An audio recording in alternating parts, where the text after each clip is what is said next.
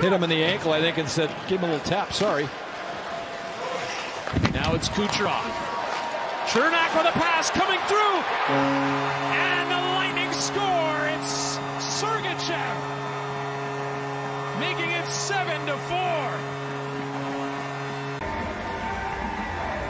As we look here, a little reverse play.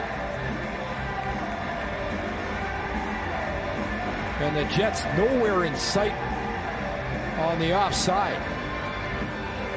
And you wonder if Svechnikov here was coming off the player's bench at a change. I mean, where was he? Cheating for a breakaway?